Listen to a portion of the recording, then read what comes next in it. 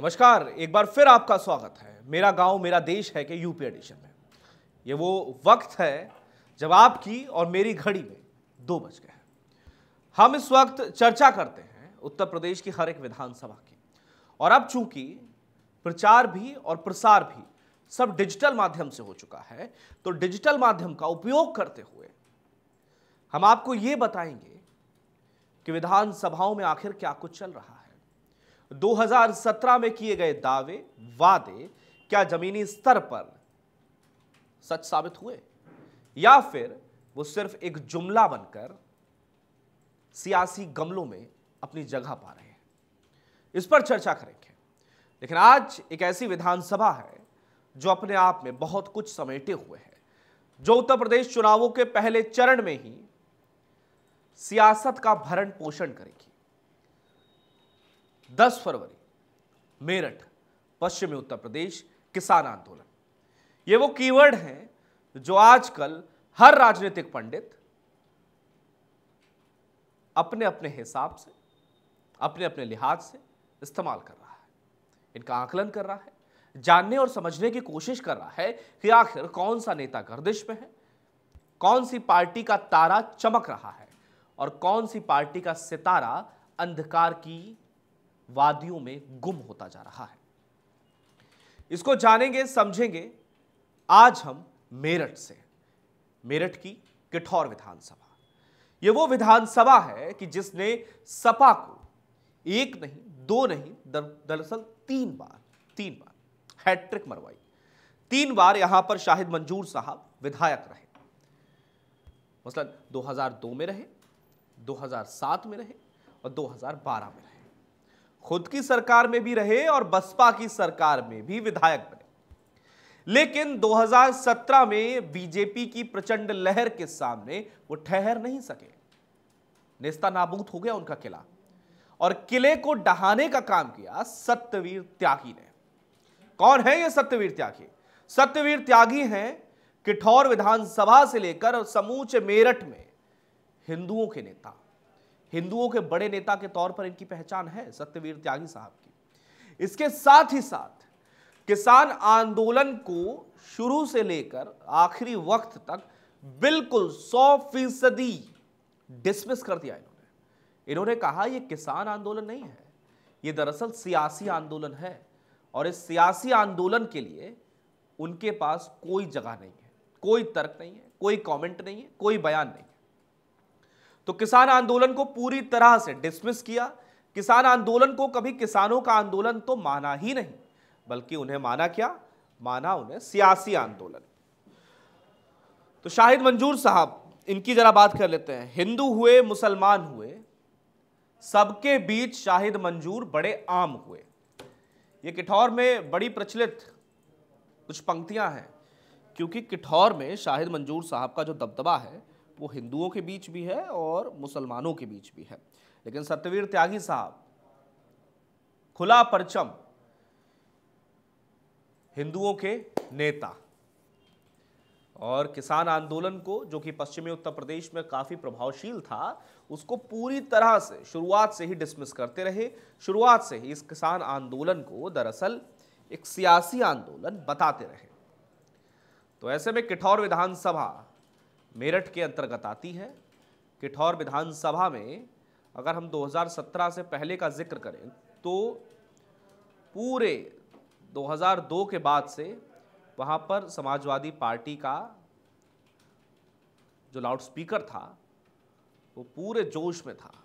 Samajwadi party ही Samajwadi party नज़र आती थी। मुलायम सिंह यादव के नेतृत्व में जब 2012 में समाजवादी पार्टी ने किला फतेह किया और उसके बाद कमान सौंप दी अखिलेश यादव के हाथों में।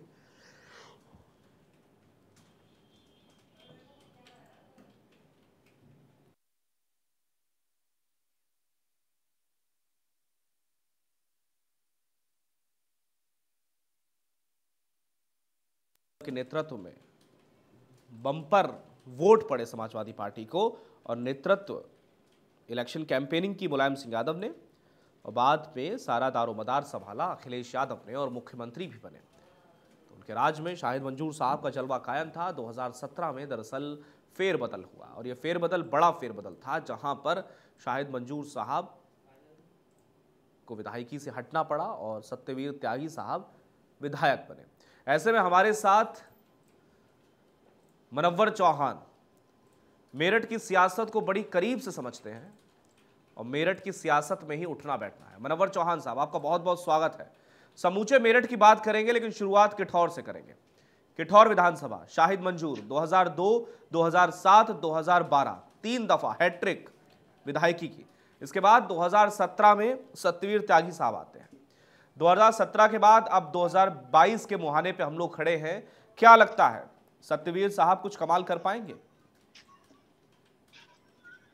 देखिए कावेंद्र अगर किठोर विधानसभा सीट की अगर बात की जाए तो इस वक्त मैं किठोर विधानसभा क्षेत्र के ग्राम ज्ञानपुर में हूँ हम्म। और ये वो गाँव है एक छोटा सा गाँव है बाईस सौ चौबीस सौ वोट होती है लेकिन हम्म। इस गाँव में भी शाहिद मंजूर जो कि पूर्व कैबिनेट मंत्री हैं उनका इस प्रकार आना जाना है बच्चा बच्चा उनको जानता है और वो बच्चे बच्चे को जानते हैं हम्म। इसी प्रकार पूरी किठोर विधानसभा सीट में उनके लोग परिचित हैं और लोग उनको जानते हैं वो लोगों को जानते हैं लेकिन जब नरेंद्र मोदी की लहर 2017 में आई तो उनकी जान पहचान भी फीकी पड़ गई हम्म। लोगों ने न केवल शाहिद मंजूर से मुँह मोड़ा बल्कि सत्यवीर त्यागी जो कि एक गुमनाम नाम था राजनीति का हम्म। उसको इस इलाके से विधायक बना दिया हम्म। सत्यवीर त्यागी के बारे में आपको मैं बता दूँ यह पहले लोक लोकदल में हुआ करते थे राष्ट्रीय लोकदल में लेकिन उन्होंने कई जगहों से चुनाव लड़े कुछ हासिल नहीं हुआ लेकिन जिस तरीके से मोदी लहर आई तो उनको इस जीत से नवाजा गया किठोर विधानसभा क्षेत्र ने उनको जिताया।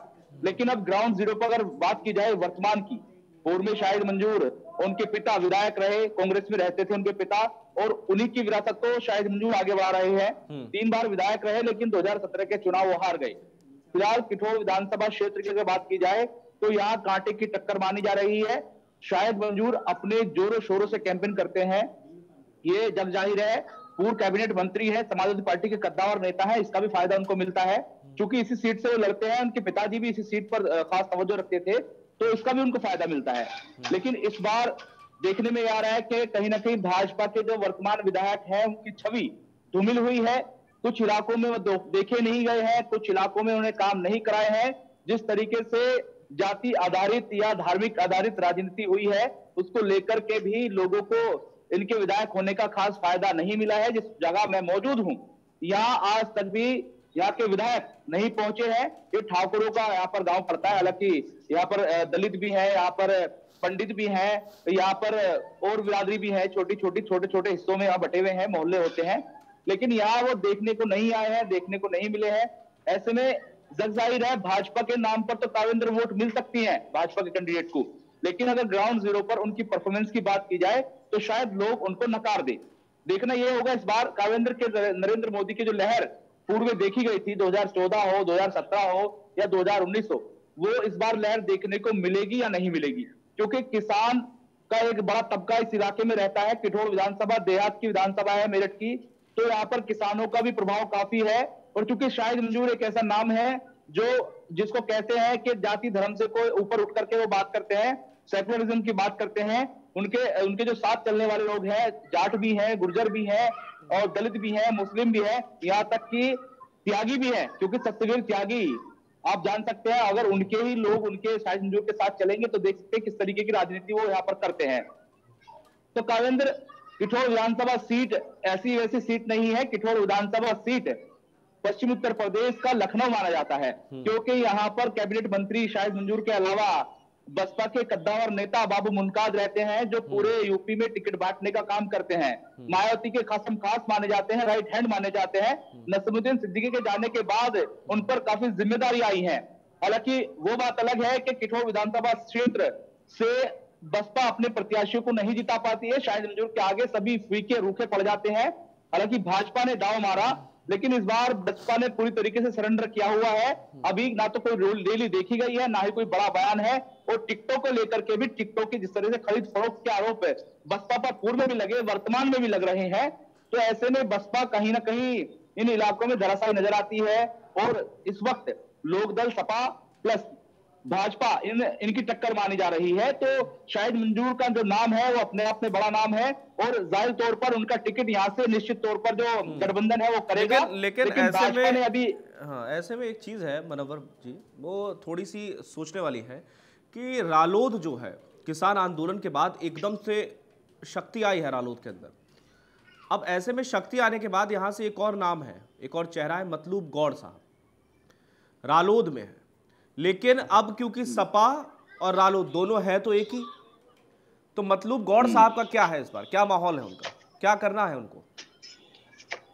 देखिए मतलूब गोड़ के बारे में आपको मैं बताऊँ। मतलूब गोड़ इससे पहले लोकदल में एक कार्यकर्ता हुआ करते थे और हम्म। शाहिद मंजूर के सामने उन्होंने खुद हम्म। चुनाव लड़ा था चौधरी साहब के समय में हम्म। जो 2017 का चुनाव हुआ है। उसमें मतलूब गोड़ शाहिद मंजूर की टक्कर पर थे और एक भ्रंत भी इन लोगों में हुई थी। मतलूब गोड़ के समर्थकों ने शायद मंजूर के काफिले पर पथराव किया था हम्म। ये जग ज़ाहिर है सभी को पता है लेकिन मतलूब गोड़ चूँकि अब इस वक्त संगठन में काम कर रहे हैं हम्म। मेरठ के जिला अध्यक्ष उनको बनाया हुआ है हम्म। संगठन ने तो हो सकता है मतलूब गोड़ को इस बार लोकदल दरकिनार कर दे और शायद मंजूर को दरकिनार करना समाजवादी पार्टी और लोकदल के बस की बात नहीं है क्योंकि फ्री फंड में एक कह सकते हैं सीट उनको मिल सकती है। अगर भाजपा का यहाँ पर दबदबा कम रहा तो हम्म। निश्चित तौर पर शायद मंजूर सीट को आराम से निकाल लेंगे। ये हम्म। सभी जानते हैं। उनकी छवि है और ऐसी छवि है ना मुस्लिम हिंदू का कोई नाम नहीं लेते हैं और सभी लोग उनके साथ चलते हैं उनके काफिले में देखे जा सकते हैं। ज़्यादातर लोग तिलक भारी होते हैं तो शायद मंजूर का नाम अपने आप में बड़ा है लेकिन मतलब गोड़ को कहीं ना कहीं संतुष्ट हो सकता है। लोकदल ने कर दिया हो कि आप संगठन चला रहे हैं। संगठन देखिए प्रत्याशियों में हो सकता है उनका इंटरफेयर ना हो लेकिन पूर्व में जिस तरीके की इन दोनों में आ, कह सकते हैं कैट वो चूहे बिल्ली की आपस में लड़ाई चल रही थी उसको भुला करके ये जिताने का काम करेंगे। अभी ये देखना होगा क्योंकि मतलूब गोड़ के समर्थक कह सकते हैं एंटी शाहिद मंजूर है। पूरी तरीके से एंटी शाहिद मंजूर है। मतलूब गोड़ का जो खानदान है किठोर विधानसभा में काफ़ी बड़ा खानदान है मैन पावर है तो उनके सामने किसी की चलती नहीं है भले ही कैबिनेट मंत्री शायद मंजूर रहे हो। पहले भी देखा गया है जब शाहिद मंजूर ने अपने बेटे नवाजिश को जिला पंचायत का चुनाव लड़ाया था तो यहाँ पर भी मतलब ही चट्टान की तरह खड़े थे। हालाँकि वो चुनाव जीत गए सत्ता थी उस वक्त। हम्म। लेकिन इस बार इस बार देखा यह जा रहा है कि लोकदल हो सकता है शायद मंजूर को ना छेड़े और शाहिद मंजूर को इसी प्रकार जैसे वो तैयारी कर रहे हैं करने दे। पिछले पाँच साल से शाहिद मंजूर अपने किसी इस, इस सीट को छोड़ करके किठोर सीट को छोड़ करके कहीं नहीं देखे गए हैं कहीं नहीं जाते हैं। केवल किठोर विधानसभा क्षेत्र में ही पिछले पाँच सालों से काम कर रहे हैं उससे पहले भी काम करते रहे जो कि विधायक थे हम्म। तो ऐसे में माना यह भी जा रहा है किसी भी कंट्रोवर्सी में ना पढ़कर शायद मंजूर ने यहाँ पर अपनी जो ज़मीन है उसको मज़बूत किया है और इस किले को लांघने के लिए भारतीय जनता पार्टी हो तो उसको काफ़ी मेहनत करनी पड़ेगी हम्म। हालाँकि इस बार चुनाव भी थोड़ा अटपटा लग रहा है हम्म। क्योंकि यहाँ पर सीधे सीधे अब सोशल कैंपेनिंग होगी सोशल संसाधन होंगे तो कैंपेनिंग होगी जाएँगे और उसके साथ ही मनोहर जी बाकी चीज़ों पर भी बात करेंगे। आपके आसपास कोई होगा तो उससे भी आप जानने की कोशिश करिएगा। लेकिन उससे पहले आप किठौर से थोड़ा सा बाहर निकलते हैं। दक्षिण विधानसभा की बात करूँ हम्म। शहर सीट की बात करूँ सिवाल खास की बात करूँ वो कौन सी विधानसभा है जहाँ आपको लड़ रहा है कि लड़ाई इस बार बड़ी दिलचस्प होने वाली है? और परिणाम जो सोचते हैं जो हम लोग गणित लगाते हैं जो राजनीतिक पंडित गणित लगाते हैं उससे परे आ सकते हैं। मतलब कौन सी विधानसभा आपको लग रही है इस बार?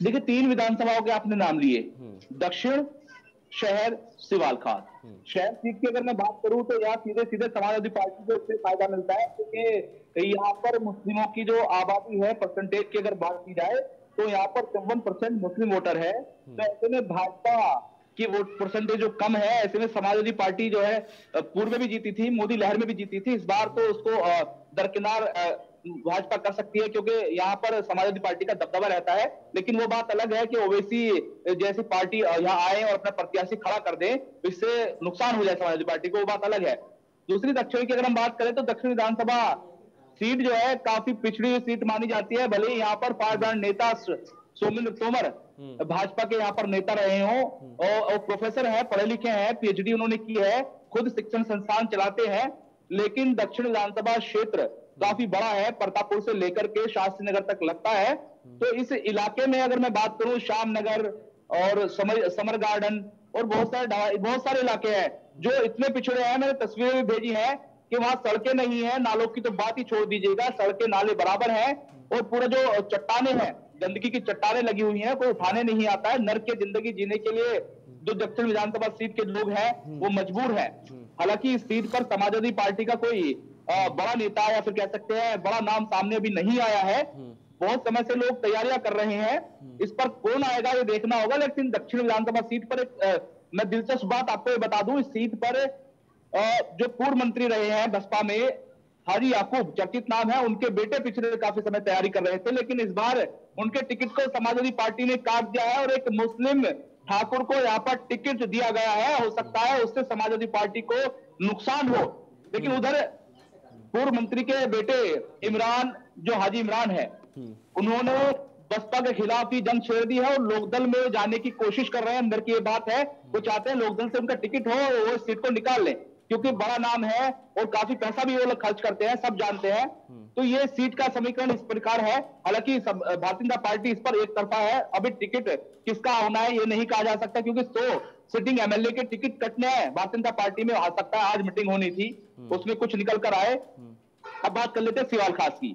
तो सिवाल खास ऐसी सीट है सिवाल खास पर चलेंगे मनोवर जी मनोवर जी सिवाल खास पर चलेंगे लेकिन उससे पहले जैसे कि अभी आपने विधानसभा की बात की दक्षिण की आपने बताया कि परतापुर से शास्त्री नगर तक लगती है। आपने सड़कों की बात करी बाकी तमाम बातें करी। शास्त्री नगर की हम बात करें तो हमने ये काफ़ी देखा है कि अतिक्रमण बहुत है। लोगों के जहाँ तक घर है सड़कों पर तक अपने घर खींच रखे हैं। ये काफ़ी देखा गया दक्षिण विधानसभा में। और कहा जाता है कि विधायक जी का संरक्षण भी प्राप्त है। विधायक जी इन चीज़ों से बचते हैं। काफ़ी अतिक्रमण है। जी।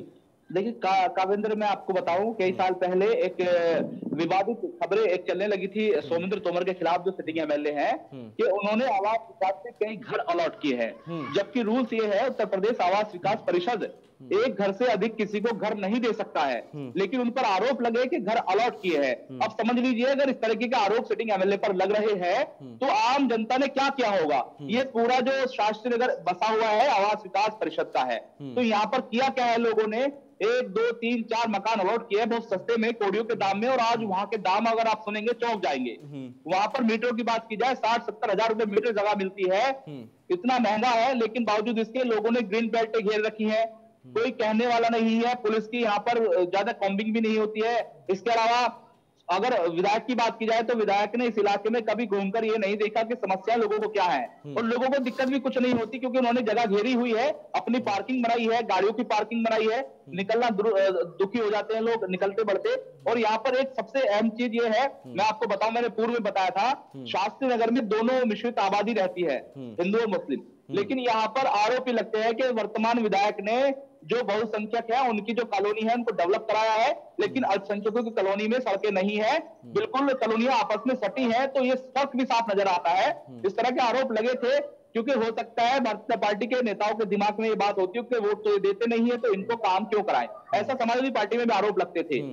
यहाँ पर देखना यह होगा कि इस वक्त इस बार जो चुनाव होने हैं भले ही फायर नेता रहे हो या हो वर्तमान में सोमेंद्र तोमर उनका टिकट बचेगा या नहीं बचेगा ये भारतीय जनता पार्टी के संगठन के ऊपर है हम्म। जो बीजेपी संगठन है हम्म। और अगर इसके हम अलग बात कर ले सिवाल खास की मैंने कहा था उस्मान नारा मशहूर हो रहा है सिवाल खास गले के फांस हम्म। यहाँ पर तीन मुस्लिम चेहरे मैं आपको नाम बता दूँ लोकदल से नदीम चौहान वसीम राजा और इसके अलावा समाजवादी पार्टी से पूर्व एमएलए गुलाम मोहम्मद तीन बड़े नाम यहाँ पर है मुस्लिम इसके अलावा यहाँ पर सुनील लोहटा लोकदल।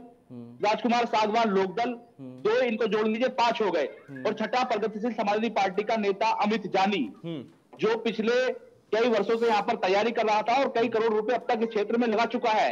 उसका टिकट साफ़ तौर पर कट गया है और वो लखनऊ में है और लगातार फेसबुक के माध्यम से बड़े नेताओं को गरिया रहा है और तमाम बातें बता रहा है कि वो लखनऊ से पदयात्रा करेगा और एक, एक, बार एक बार एक बार और नाम बता दीजिएगा एक बार एक बार और नाम बता दीजिएगा क्या नाम आपने बताया?